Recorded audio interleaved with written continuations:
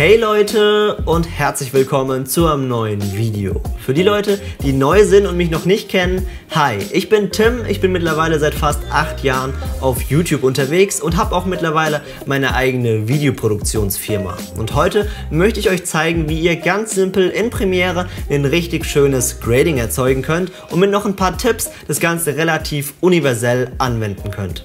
Dazu habe ich euch natürlich auch heute schon wieder was vorbereitet und zwar ein Clip aus meinem letzten Video. Den werden wir jetzt gleich zusammen graden. Ihr könnt euch ganz genau anschauen, wie ich das Ganze mache, könnt von mir lernen, Tipps mitnehmen und es dann eins zu eins ganz simpel bei euch auch anwenden, um euer Bild einfach schöner aussehen zu lassen. Dazu brauchen wir aber als allererstes einen Effekt, mit dem wir denn überhaupt alles bearbeiten können. Dazu springen wir in Premiere und gehen zu unserer Effektsektion und suchen dort einfach mal nach Farbe. Und dort gibt es den Lumetri Farbeneffekt und mit dem können wir soweit alles anpassen. Den können wir jetzt an sich nehmen und auf den Clip draufziehen. Ist aber ein bisschen blöd, falls wir jetzt beispielsweise schon hier ein bisschen was geschnitten haben und sagen jetzt mal, hier fehlt schon was zwischendrin und hier fehlt was, dann können wir den zwar nehmen, hier draufziehen und wenn wir den jetzt einstellen, müssten wir den aber dann nehmen und auf jeden einzelnen Clip drauf kopieren. Und wenn wir dann nochmal was ändern wollen, müssen wir den überall löschen, wieder neu kopieren, überall einfügen. Das ist viel zu viel Arbeit, deswegen, falls ihr die Möglichkeit habt und wie in meinem Fall die Kamera statisch ist,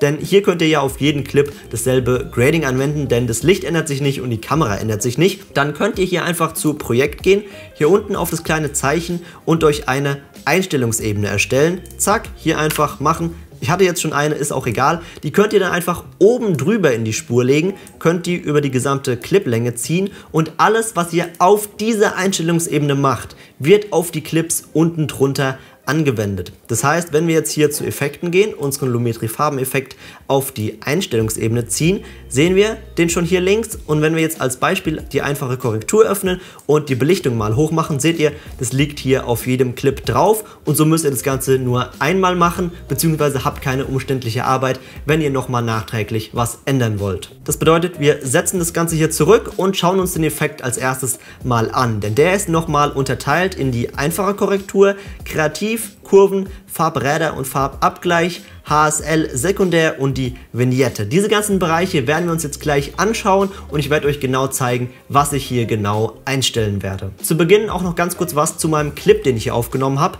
denn der ist in einem sogenannten flachen Profil aufgenommen. Bedeutet, ihr könnt bei den meisten Kameras ein sogenanntes Bildprofil anlegen, um in der Kamera euer Bild anders aussehen zu lassen, also beispielsweise mehr oder weniger Sättigung, mehr oder weniger Kontrast. Und da gibt es Kameras, die haben schon ein flaches Bildprofil von Werk an. Wenn nicht, könnt ihr das selbst einstellen. Ihr nehmt einfach so ein Custom Bildprofil und zieht dort die Sättigung und den Kontrast komplett nach unten, bedeutet wenig Sättigung und wenig Kontrast. Dadurch habt ihr ein flaches Bild, bedeutet die dunklen Bereiche im Bild sind etwas heller und die hellen Bereiche sind etwas dunkler und ihr habt weniger Sättigung und damit habt ihr einfach die Möglichkeit, euer Bild später viel besser nachzubearbeiten. Denn wie gesagt, dadurch, dass die hellen Bereiche dunkler sind, habt ihr dort einfach mehr Informationen und es verfällt nicht so schnell im Weiß, beziehungsweise dasselbe auch bei den dunklen Bereichen und wie gesagt, ihr könnt es einfach besser nachbearbeiten. Deswegen als Tipp, falls ihr die Möglichkeit habt, nehmt auf jeden Fall euer Bild in einem flachen Profil auf, dann habt ihr viel mehr Möglichkeiten und es lässt sich vor allem auch viel schöner bearbeiten. Das heißt, wir starten. Als allererstes möchte ich mein Bild wieder etwas Kontrast hinzufügen. Dazu haben wir eine kleine Hilfe. Wir gehen zu Fenster und öffnen die Lumetri Scopes. Die habe ich jetzt hier schon bei mir hier unten. Dann könnt ihr hier noch einstellen, dass ihr nur den Waveform Monitor und zwar den Luminanz Waveform Monitor seht. Der analysiert euer Frame, den ihr gerade hier oben seht, von links nach rechts und zeigt euch die Helligkeit an. Hier oben 100 sind 100% bedeutet komplettes Weiß und hier unten 0, die Nulllinie 0% ist 100%iges Schwarz. Wie gesagt, er nimmt unser Bild, analysiert es von links nach rechts und hier sehen wir schon, hier rechts beispielsweise ist es recht dunkel. Das wird jetzt hier rechts von mir der Kamin sein. Gerade hier unten seht ihr, ist es sehr dunkel, außer das Feuer. Das ist hell, das verfällt schon fast im Weiß. Das hier ist diese eine Spitze. Also hier müsst ihr einfach ein kleines bisschen rumprobieren und dann seht ihr hier auf jeden Fall sehr schön, wie hell euer ya. Bild ist. Und das brauchen wir jetzt als allererstes,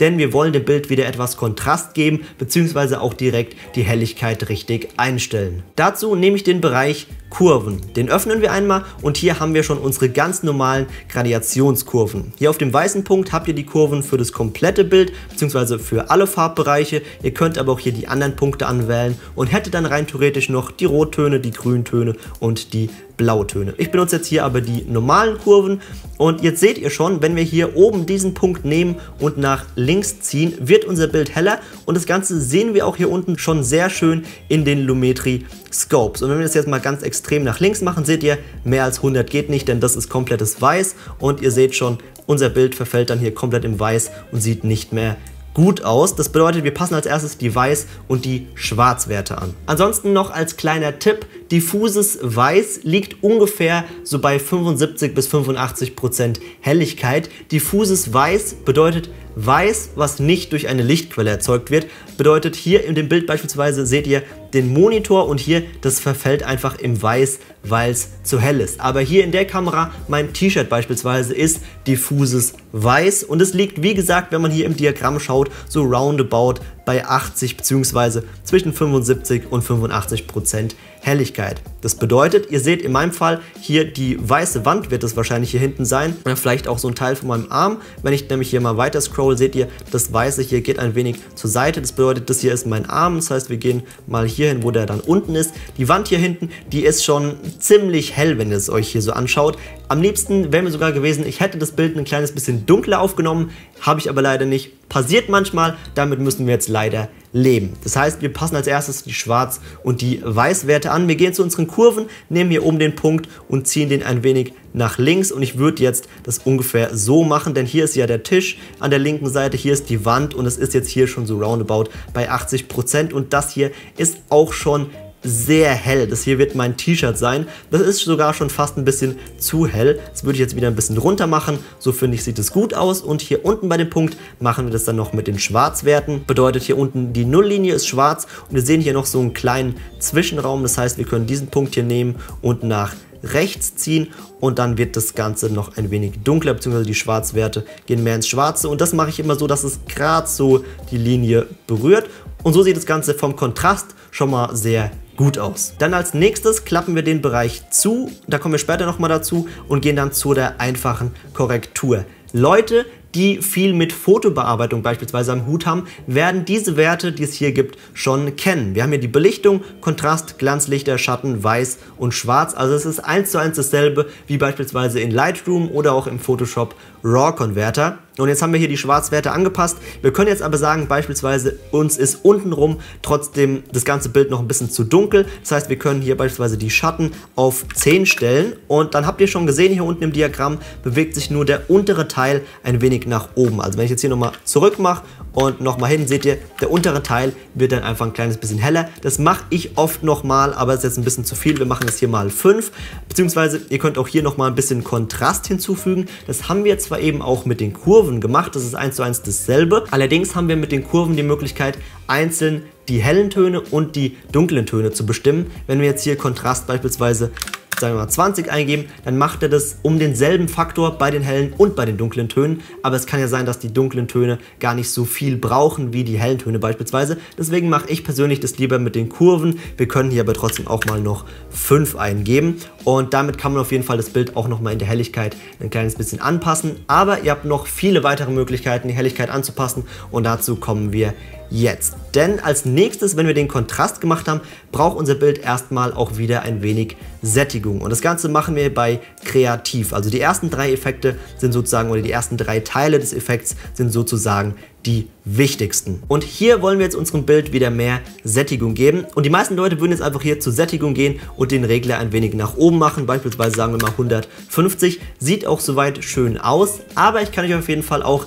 die Dynamik ans Herz legen. Denn die Dynamik legt ein kleines bisschen mehr Wert auf die Hauttöne, dass die schöner aussehen. Als Beispiel, wir machen die Sättigung mal ganz hoch und schauen uns mein Gesicht an. Es wird ganz komisch gelb und orange. Also machen wir wieder hier 100 und stellen jetzt mal die Dynamik ganz hoch und wir sehen schon, der Kamin hier, hier, hinten bekommt ein schönes Orange. Die Wand ist schon ziemlich extrem blau. Hier unten sieht es auch nicht so schön aus, aber die Hauttöne sind immer noch gut aus. Deswegen nehmt erst die Dynamik und wenn das dann noch nicht reicht, dann die Sättigung. Wie gesagt, hier unten sieht es jetzt nicht so schön aus. Ich in meinem Fall kann euch empfehlen, ich benutze die Dynamik immer so zwischen 30 und 40 Prozent. Das heißt, wir machen jetzt mal hier 35 und dann hat das Bild schon ein kleines bisschen mehr Sättigung. Das reicht jetzt noch nicht. Das heißt, wir können auch mit der Sättigung noch ein kleines bisschen hochgehen. Wir nehmen mal 120 und so sieht es schon ganz schön aus. Wobei ich sagen würde, ich würde dem ganzen Bild trotzdem noch ein kleines bisschen mehr Sättigung geben, denn wenn man mich anschaut, ich bin noch relativ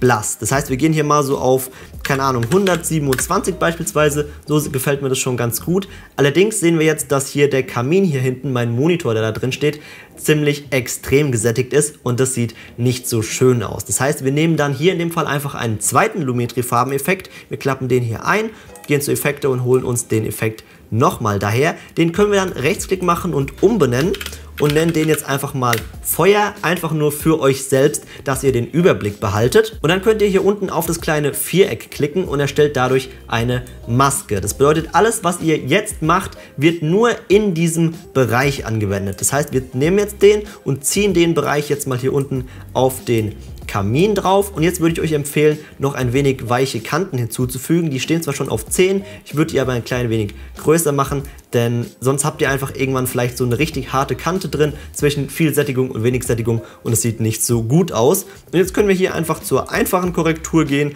beziehungsweise oder auch zu kreativ, wie ihr möchtet und können hier die Sättigung einfach runter machen. Wir können jetzt mal 90 einstellen, das finde ich jetzt sogar schon wieder ein bisschen zu wenig, das heißt wir machen mal 95 und das gefällt mir overall schon ganz gut. Ich habe eine schöne Sättigung und der Kamin hier hinten ist aber nicht zu extrem gesättigt. Wir können übrigens auch als Vergleich die Einstellungs Einstellungsebene immer mal aus- und anschalten. Und ich muss sagen, ich bin schon sehr zufrieden, also gefällt mir schon sehr gut das Bild. Das heißt, wir machen weiter. Wir können hier den Feuereffekt zuklappen, unseren Main Grading Effekt wieder ausklappen. Wir können den natürlich auch gerne mal Main nennen, einfach, dass wir wissen, um was es geht. Das heißt, wir sind soweit bei Kreativ fertig, bis auf den Scharfzeichner.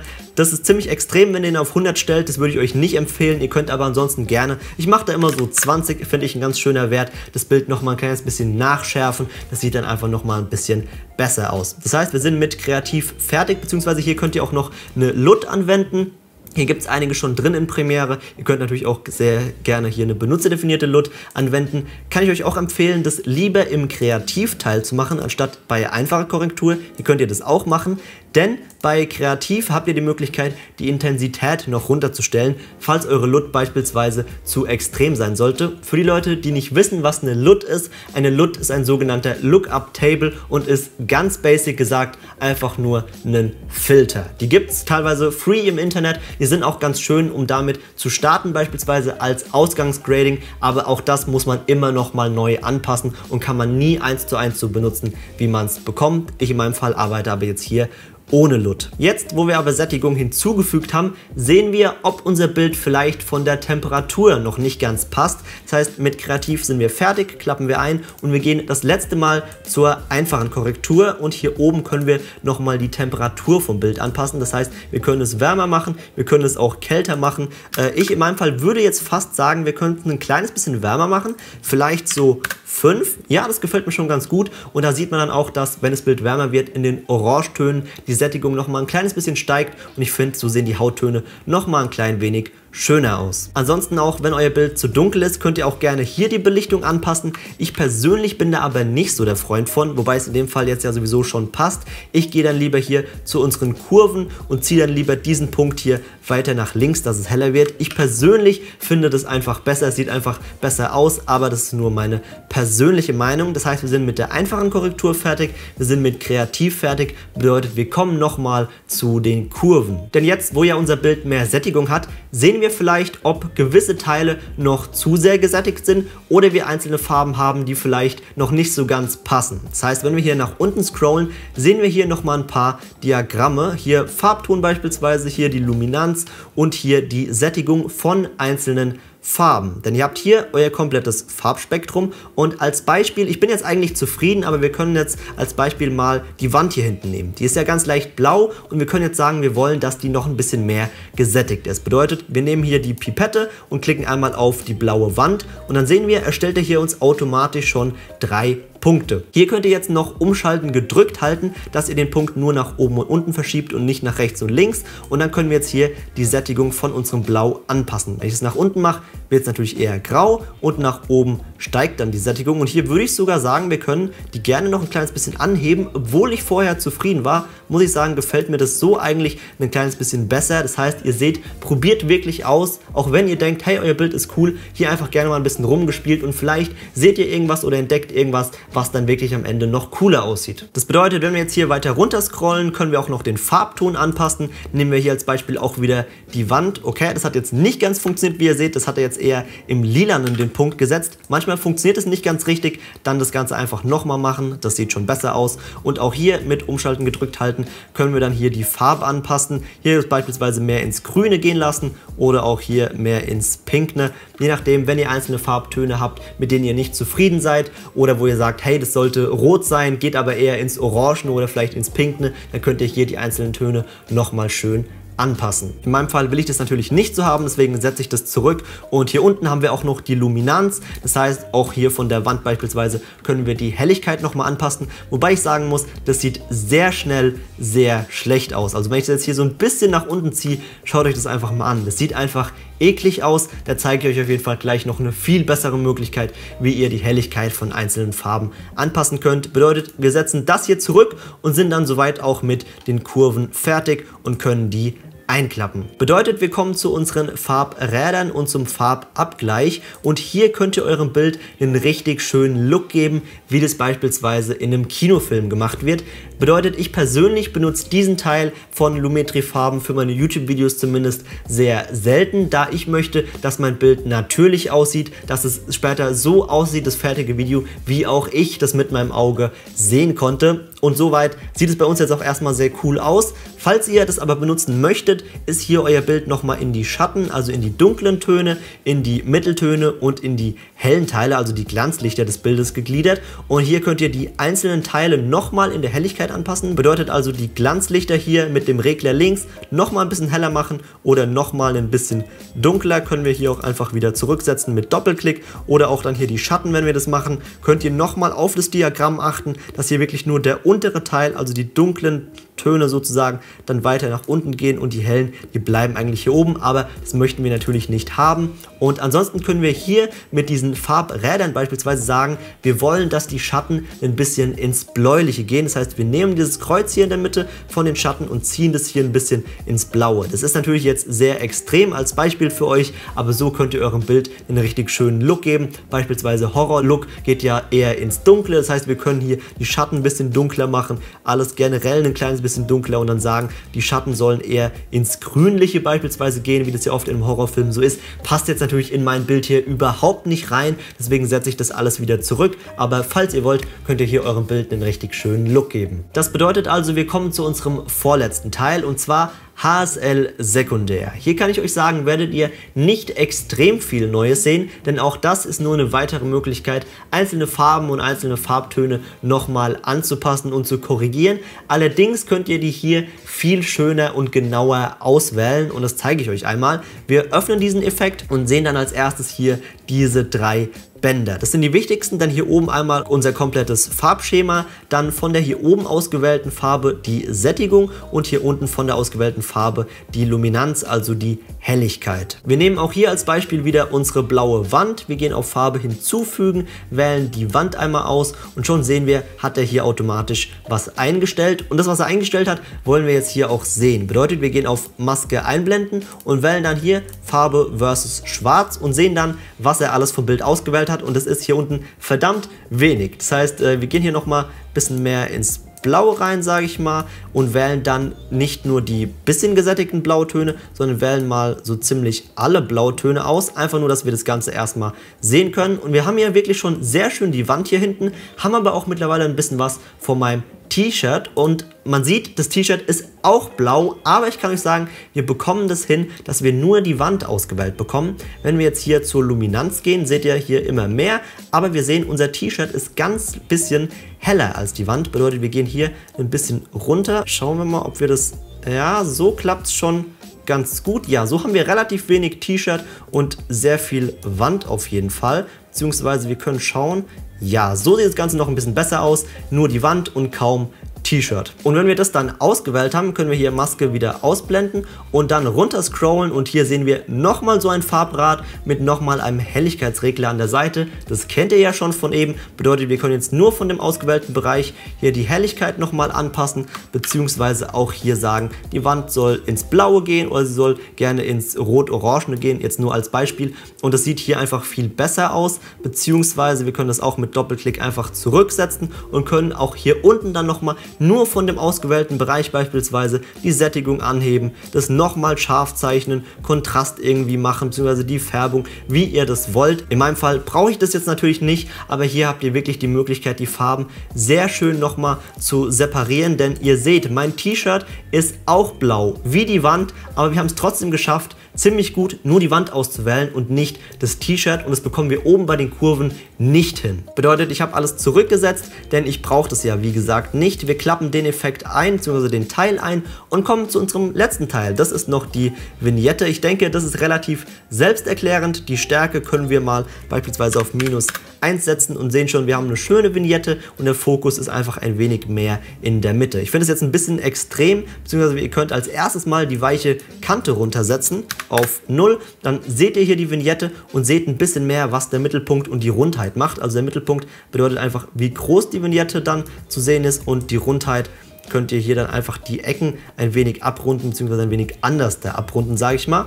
Äh, ich für meinen Fall setze die Vignette einmal hier ganz kurz zurück. Ich mache sehr gerne die Vignette so circa auf minus 0,2, 0,3 findet die aber dann ein bisschen zu extrem, bedeutet ich mache den Mittelpunkt meistens auf 60 und bin dann cool damit, könnte ich hier dann auch an- und ausschalten und könnte so wie gesagt den Mittelpunkt bzw. den Fokus des Bildes nochmal mehr auf den Mittelpunkt lenken. Das bedeutet also, wir haben jetzt hier unser finales Grading, können als Vergleich nochmal die Einstellungsebene an- und ausschalten und ich muss sagen, ich bin wirklich sehr zufrieden, also sieht nice aus. Was ich euch aber auf jeden Fall noch als Tipp mitgeben kann, gradet auf keinen Fall euer Bild und seid dann fertig und exportiert euer Video. Denn über die Dauer gewöhnt man sich an Helligkeiten, an Sättigungen. Das bedeutet also, wenn ihr euer Bild oder euer Video eben gradet und da 10, 20, vielleicht 30 Minuten dran sitzt, seht ihr am Ende nicht mehr, ob euer Bild viel oder wenig gesättigt ist. Deswegen kann ich euch empfehlen, macht nochmal kurz 5 Minuten was anderes und schaut dann nochmal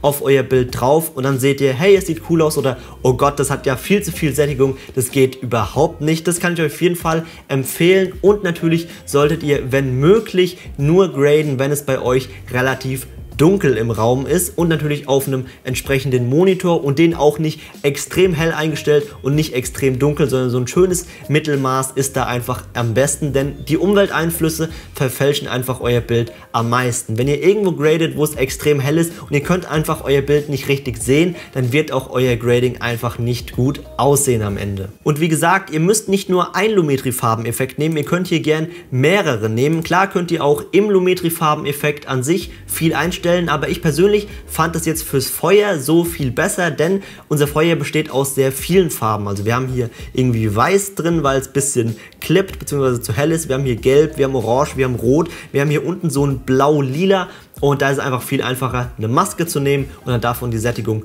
runter zu machen. Ansonsten, wenn ihr beispielsweise auch nur einen Teil vom Bild heller machen wollt, könnt ihr auch einen einzelnen Lumetri Farbeneffekt nehmen, macht hier nochmal eine Maske. Und wir können jetzt mal sagen, wir wollen hier die rechte Seite vom Bild ein klein wenig heller machen, weil der Kamin uns einfach zu dunkel ist, können wir hier eine Maske machen, machen hier noch ein bisschen weiche Kanten, sage ich mal so, noch ein bisschen gucken, dass es nicht so auf mich rauf geht, noch ein bisschen weicher, vielleicht ist ein bisschen zu viel, machen wir mal hier 400 und können dann auch hier zur einfachen Korrektur gehen und sagen, Belichtung hier machen wir jetzt einfach mal als Beispiel plus 1. Ist natürlich jetzt viel zu viel, aber so könnt ihr auch nochmal einzelne Bereiche vom Bild richtig schön anpassen mit Helligkeit beispielsweise, Kontrast, Sättigung, dies, das, wie ihr das also möchtet. Das bedeutet, ich hoffe, ich konnte euch das Color Grading in Premiere Pro ein kleines bisschen näher bringen. Ihr konntet was aus dem Video für eure Videos mitnehmen und könnt damit in Zukunft auch richtig coole Looks erstellen. Ansonsten, wenn ihr Lust habt auf mehr solche Tutorials, ich habe eine komplette Playlist, wo ich euch mein Wissen weitergebe mit noch wirklich sehr vielen nützlichen Tipps. Schaut da gerne mal rein, dann wird bestimmt auch noch was für euer Video dabei sein. Und ansonsten, wenn ihr nichts mehr verpassen wollt, abonniert doch sehr gerne den Kanal, lasst eine einen Daumen nach oben da, wenn euch das Video geholfen hat und schreibt mir gerne mal in die Kommentare, welcher Tipp für euch am besten war. Und dann sehen wir uns im nächsten Video wieder. Bis dahin, mach's gut, ciao!